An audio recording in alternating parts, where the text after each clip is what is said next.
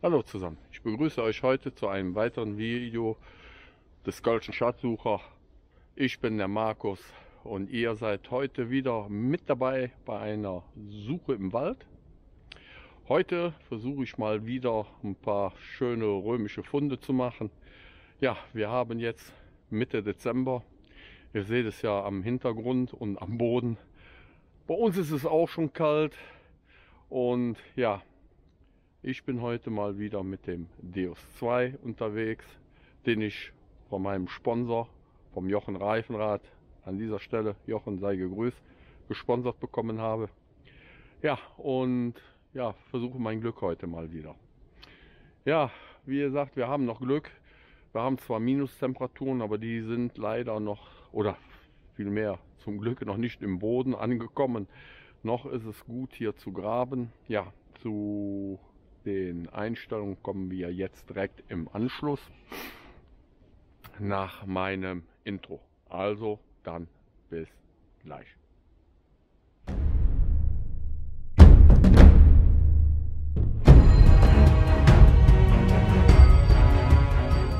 Jetzt kommen wir zu den Einstellungen. So, ich habe hier mein Wahlprogramm, was ich mit dem Werksprogramm tief generiert habe. Wir gehen mal ganz kurz ins Menü. Den Disk habe ich auf 2.0 gesetzt. Deswegen, wenn ihr den schon auf 2.1 setzt, habt ihr schon einen tiefen Verlust von mindestens 2 bis 5 cm, je nach Objektgröße. Weil dann schaltet sich der Eisenvorfilter beim Deus ein. Bis 2.0, also ist er eigentlich deaktiviert. So ist das auch beim Deus 1. So, ich habe ein Dreitonprogramm, aber so die Töne, die sind individuell, wie ihr das mögt, einstellbar. Ich habe natürlich äh, meine Vorlieben, aber die muss ja nicht jeder haben. So, und jetzt gehen wir mal auf Sens. Sens ist auf 96. Die Frequenzweiche habe ich, weil ich das Gerät schon eingeschaltet habe, auf 3 stehen. So, und die Eisenlautstärke auf 1. Für die, die jetzt neu sind, deswegen, weil wenn ihr mal ein kleines Buntmetall neben einem Eisenobjekt habt und ihr blendet jetzt Eisen gänzlich aus, auch im Ton, kann es sein, dass das Eisen, das kleine Buntmetall, übermaskiert und somit auch da der Ton weg ist. Deswegen immer auf 1. So, die Reaktionszeit habe ich auf 1 weil wie gesagt, der Deus 2 ist viel, viel schneller in der Signalerkennung als der Deus 2 und somit habt ihr auch Tiefe. Ab 1,5 verliert er schon wieder Tiefe und ab 2 schon wieder was mehr. Also 1 ist so das Optimalste, 0 würde ich keinen empfehlen. Wie gesagt, könnt ihr machen, wenn er ganz langsam. Ihr müsst auf jeden Fall bei 1 schon auch ziemlich langsam schwenken. Was heißt langsam? Ihr könnt zwar zügiger schwenken als wie beim Deus 2, aber wenn er zu schnell schwenkt, denkt immer dran, Dafür ist die Reaktionszeit ja da. Desto äh, höher ihr die stellt, desto schneller könnt ihr schwenken, desto niedriger müsst ihr auch langsamer schwenken. So, da sind wir jetzt. So, jetzt gehen wir mal auf die Signalverstärkung ein. Die Signalverstärkung ist das immer, was jeder denkt, äh, damit würde man tiefer detektieren. Nein, es ist einfach nur so, dass die Töne von tiefliegenden Objekten einfach nur lauter dargestellt werden. Wenn ihr sie zu hoch macht, habt ihr hinter keinen Unterschied mehr, ob jetzt ein Objektiv im Boden liegt oder ganz oben an der Oberfläche. 5 ist wirklich die Grenze, die maximalste Grenze. Die nutze ich aber auch nur im Wald. Auf dem Acker immer auf 4. So, jetzt gehen wir in den Expertmodus rein vom Disk. Ja, komm, mit Handschuhen ist es schlecht. So, den Notch habe ich heute auf 20 eingestellt, weil ich hier keine Lust habe, viel Eisen zu graben äh, den Bodenfilter auf 1 könnt ihr auf 0 setzen, würde ich aber nicht machen. Dann habt ihr wirklich Interferenzen, dauernd nur Störsignale durch den Boden. Also 1 ist für den Wald eigentlich ausreichend. Ein Dreitonprogramm und Kronkorken habe ich auf 0. So. Dann wie gesagt den äh, Boden angepasst über äh, die Ground Balance hier mit dem Pinpointer Button. Der geht viel schneller als wie beim Deus, da müsst ihr oben rechts ins Menü gehen. Und das waren die Einstellungen für den heutigen Tag. So, wie gesagt,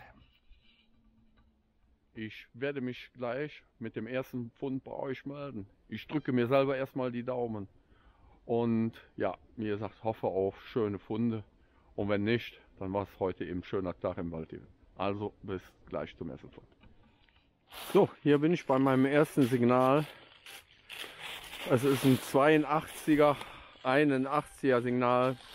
Sehr stabil, sehr laut, wie ihr hören könnt. Ja, zum Glück, wie gesagt, ist der Boden noch nicht gefroren, aber haben wir länger diese Temperaturen, wird es auch im Wald richtig kritisch werden zum Suchen. Ach so, eine Wurzel haben wir hier, die müssen wir erstmal durchtrennen oder daneben graben. So.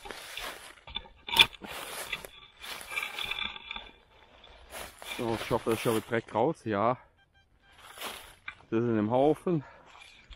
Machen wir den Haufen ein bisschen klein.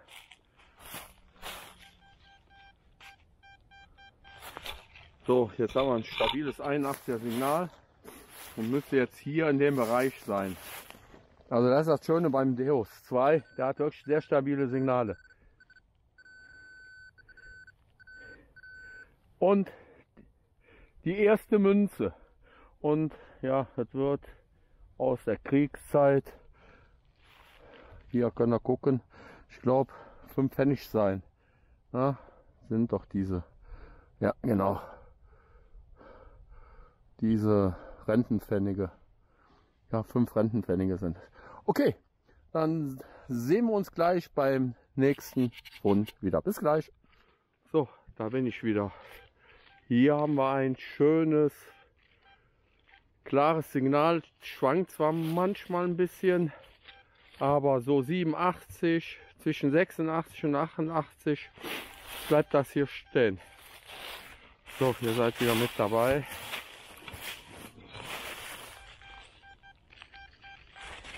Weiter nach da oben, glaube ich. Ja, hier hin.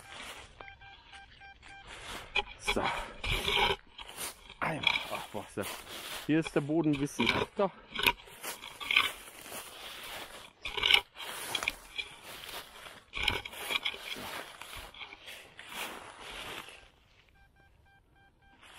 So, das ist noch in der Erde, glaube ich. Müsste eigentlich hier in der Kante irgendwo sein. So. Ja, hier. Ganz mal so tief. Da ist es. Ah.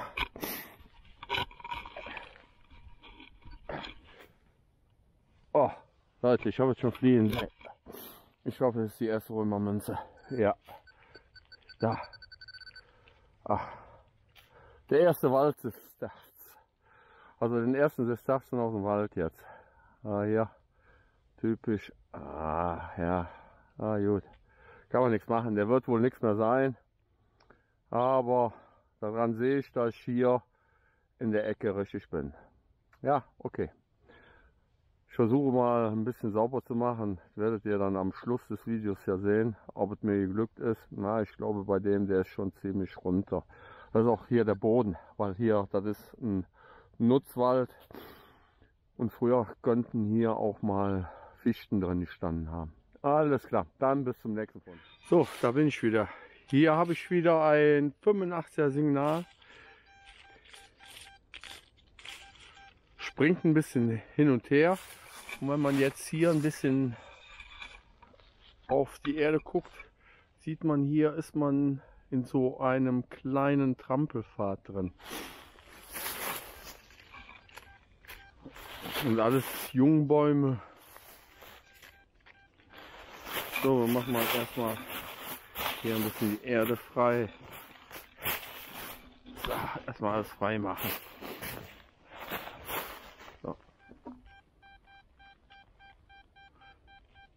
So, hier bin ich nochmal. Das ist das eingetreten, was ich mir vorgestellt habe.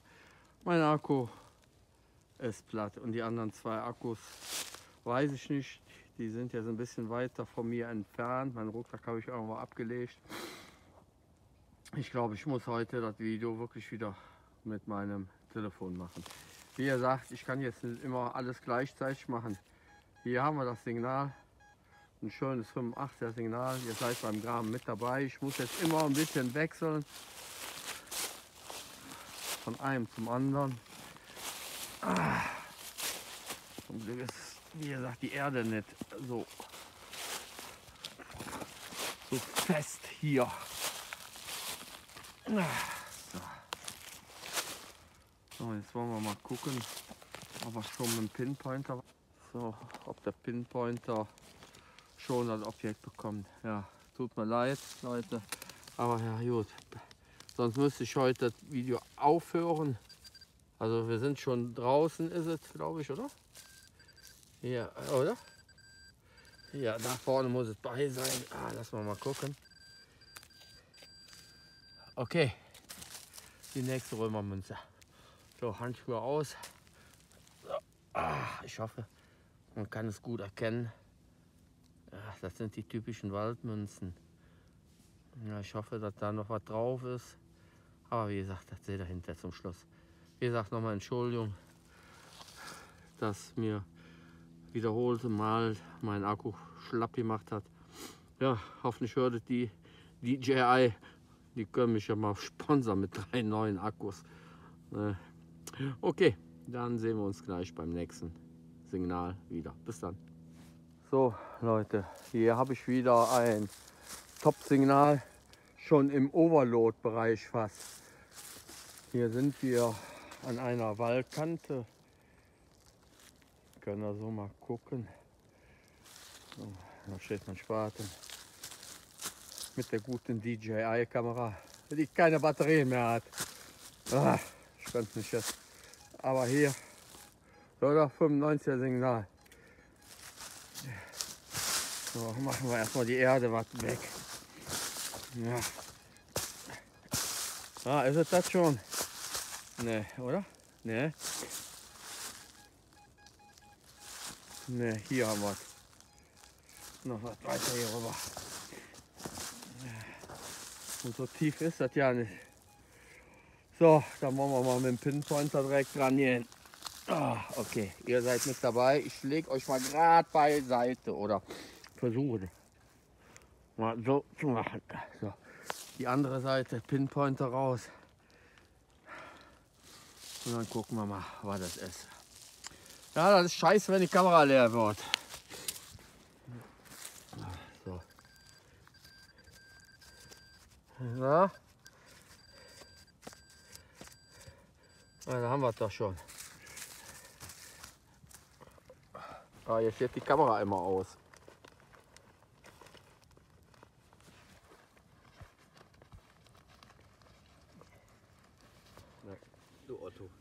Ich Otto hatte gar nicht die Kamera an. Also jetzt haben wir das Teil draußen. Ja, die setze ich auch immer an, aus, an, aus, scheinbar durch die Kälte.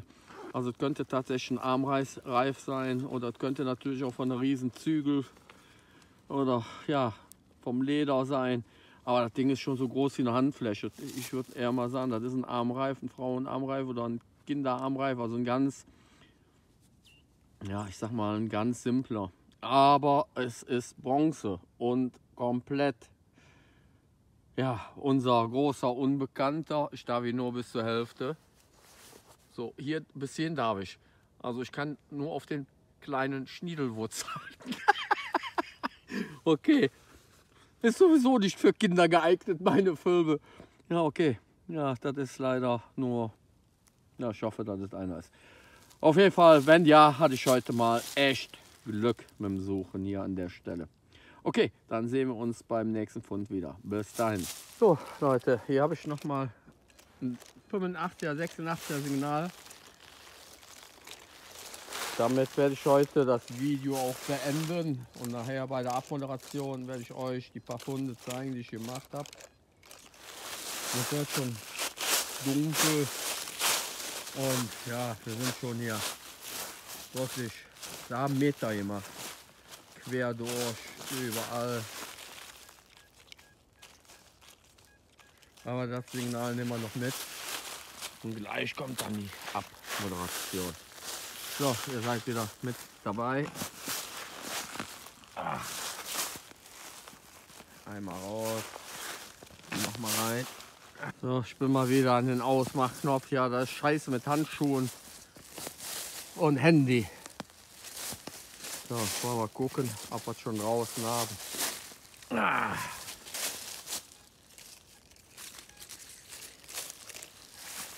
Ja, das ist natürlich der Spaten im Weg.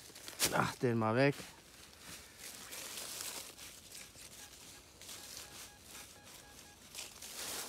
Ich glaube, wir haben ihn draußen oder zumindest schon mal hochgegraben. Okay. Jetzt muss ich wieder die Hand wechseln und den Pinpointer rausholen und dann gucken wir nach, was das ist.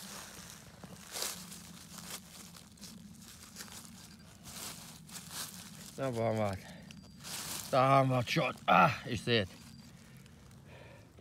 So, das sind die typischen, ja, ich sag mal,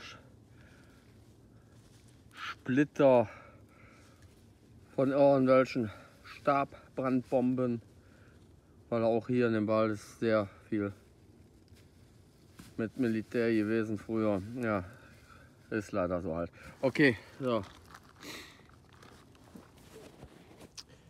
Wie gesagt, wir machen mal gleich Schluss. Das ist das letzte Signal und wir gehen dann mal Richtung Weg gleich. Und wenn wir dann zusammenpacken, mache ich die Abmoderation für euch und dann zeige ich euch nochmal die Funde. Okay, bis nachher. So, da bin ich jetzt mit dem Schluss des Videos. Ja Leute, heute war ein schöner Tag. War zwar sehr kalt, es ziehen jetzt gerade auch die Temperaturen richtig gut an. Also wir haben jetzt bestimmt wieder minus 4, 5 Grad. Ich meine, gut, für einen, der jetzt in Bayern oder Österreich wohnt, sagt er, oh meine Güte, was habt ihr für warme Temperaturen? Ja, aber hier ist es schon in unserer Region ziemlich kalt. Ja, und es wird auch dunkel.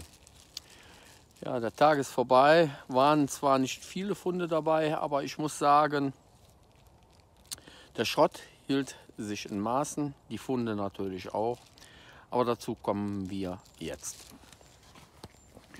So, wie ihr sehen könnt, hier unten, das sind meine Schrottfunde, ein großer Eisennagel, ein paar kleine, äh, ja, ich sag jetzt mal Splitter, Musketenkugel, ja, und so ein bisschen Alu. Und jetzt kommen wir zu den guten Funden. Ja, einen Sesterzen, sind aber die typischen Waldsesterzen, ob da noch was drauf ist eventuell ein kleines Ass oder ein großer Folly. Dann die 5 Pfennig, äh, Rentenpfennig aus den 40er Jahren. Ja, und hier der Armreif. Also wie gesagt, ich würde jetzt, äh, ja, ich sag mal, die Hand, wenn ich so durchquetschen würde, drüber kriegen, einen Armreif. Aber ich denke mir mal, wenn es einer ist, ist es ein Frauenarmreif oder ein Kinderarmreif. Ansonsten ist es, ja, ich sag jetzt mal, vom Ochsengeschirr oder vom großen Geschirr, also vom großen äh, Kaltblüterpferd aus der Neuzeit. Also man kann dazu ja allem sagen, was es ist. Aber da es in, in einem Wallstück gefunden hat und ja, wie gesagt, da auch die Römerstelle in der Nähe ist, äh, tendiere ich mal, dass es wirklich antik ist. Obwohl, es kann alles Mögliche sein. Na gut. Ja, das Jahr ist auch jetzt wieder zu Ende. Wir haben jetzt Dezember, Mitte Dezember. Äh, ich denke mir mal, das Video wird Mitte Januar kommen. Ansonsten vielleicht schiebe ich noch vor ein Reinigungsvideo. Mal schauen, so wie ich jetzt Zeit habe, die Tage mal ein bisschen reinigen. Das nehme ich dann wieder auf für euch. Dann präsentiere ich euch auch wieder meine Materialien dazu. Mein, äh, ja, wie gesagt, mein Silberreiniger meine Silberpatina und mein Restaurationswachs. Dann stelle ich euch mal meine Werkzeuge dazu vor und ja, alles so, was ich benutze, wenn ich äh, meine Funde sauber mache. Hallo zusammen. Ja, mir ist gerade aufgefallen, dass ähm, ja, mein Bildmaterial, was ich jetzt bei der letzten Suche gemacht habe, nicht vollständig ist. Dafür muss ich mich bei, bei euch entschuldigen. Das ist aus folgenden Gründen wohl geschehen. Wir hatten an dem Tag um die 5 Grad minus, aber das war nicht allein die Kälte, es war die feuchte Kälte. Also, also die 5 Grad waren gefühlte 15 Grad minus und da hat wohl ja, fast meine ganze Elektrik fürs Videomachen den Geist aufgegeben. Sogar mein Mobiltelefon. Das hat sich immer während des Aufnehmens an und ausgesetzt. Und natürlich durch meinen Fehler. Ich bin da wohl öfters mal an den An- und Ausschaltknopf gekommen. Ja, nichtsdestotrotz, darum mache ich es jetzt nochmal. Ja, bei, den, ähm, bei, bei dem Suchgang sind, ja, ich sag mal, drei wesentlich rausstechende Funde gekommen. Darunter ein Sesterz. Ja, was ich in dem Film vermutet hatte, ein Ass, war es nicht. Ein Folly in dem Sinne auch nicht. Es ist ein äh, Silberantonian und vermutlich, vermutlich ein Bronzearmreif, aber ein ganz einfacher, schlichter. Es könnte natürlich sich auch um, ja, ich sag jetzt mal, von einem Ochsengespann, ähm, von, ja, von dem Lederwerk, was der Ochse um hat, eben ein großer Bronzering sein. Aber wie gesagt, es stach im, ja, ich sag mal, in einem Wall dieses Objekt und äh, da wo wir waren, noch keine 20 Meter hinter uns, sind äh, römische Bauspuren gewesen im Wald.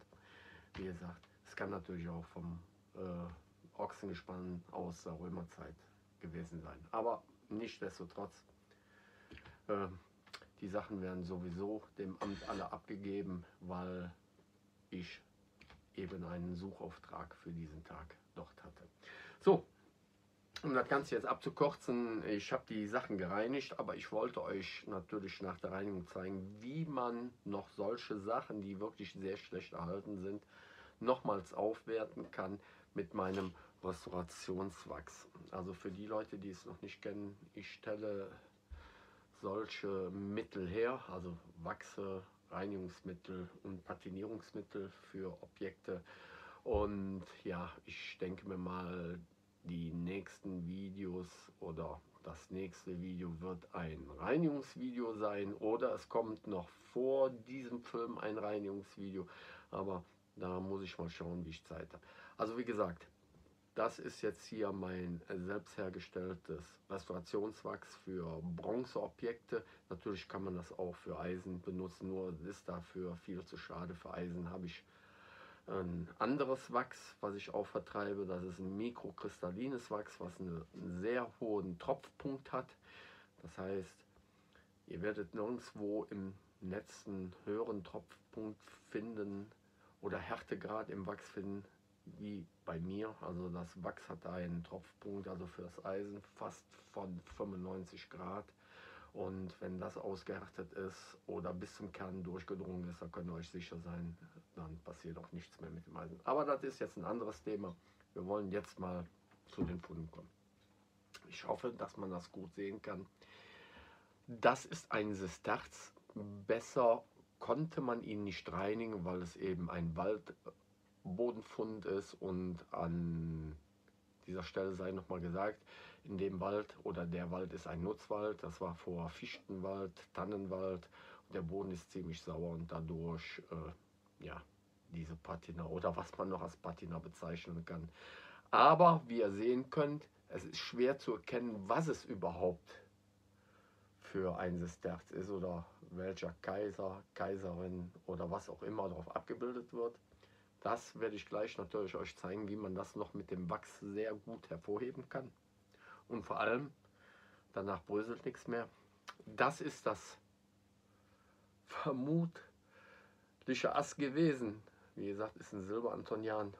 Da hatte ich noch Glück gehabt, dass noch ein gutes Stück der Restversilberung drauf ist. Ja, wie gesagt, die 10 Pfennig die ich zu Anfangs gefunden habe, ein bisschen sauber gemacht. Und zum Schluss dieser Armreif oder wie gesagt vom Ochsen gespannt. Aber wenn man jetzt sehen kann, ich könnte fast meine Hand durchstecken. Also darum lässt es mich vermuten, dass das ein Frauenarmreif oder ein Kinderarmreif ist. Okay, wir werden jetzt gleich in den schnellen Vorlauf gehen, weil wie gesagt, ich werde, werde euch nur zeigen, wie das Ganze aufgewertet wird oder wie ich das Ganze jetzt hier mache, dass man es hinterher erkennt. Zum Schluss des Videos werden es wieder einzelne Bilder geben von den Funden. Und ich hoffe, bei den nächsten Außenvideos, die werden besser. Ich hoffe, dass ich bis dahin neue Akkus habe. Ansonsten ja mal schauen, wie ich das bewerkstellige. Also, wir sehen uns gleich dann wieder bei der kompletten Fundpräsentation. Und jetzt gehe ich auf den schnellen Vorlauf und ihr seht mir zu, wie ich die Objekte jetzt ansehnlich mache. Okay, dann bis gleich.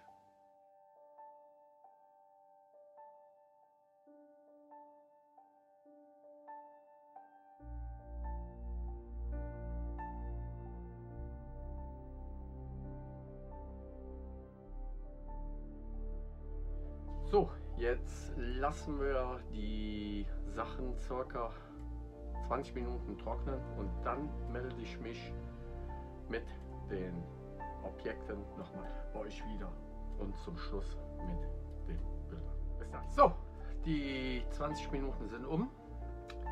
Das ist jetzt eingetrocknet und jetzt nehme ich euch wieder im Schnelldurchlauf mit zum Polieren und nach dem Polieren werde ich einzelne Bilder davon machen, die ihr dann, dann zum Schluss seht. Ja, nochmal ein Dankeschön an all meine Abonnenten, an meinen Sponsor Jochen Reifenrath von www.abenteuer-schatzsuche.de und nochmals Entschuldigung für, ja, ich sag mal, das grausame Video oder den grausamen Videoschnitt, den ihr erleben müsst. Ja, tut mir leid, ich werde auch nicht viel schneiden in dem Video. Ihr solltet so erleben, wie es wirklich im wahren Videoleben eines Markus Brüches ist. Ja, das ist also nicht Carsten Konze, sondern Markus Brüche steckt dahinter.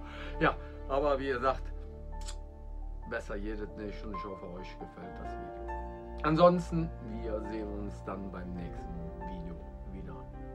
Also habt eine schöne Zeit, findet was Tolles. Bis dahin noch, Markus.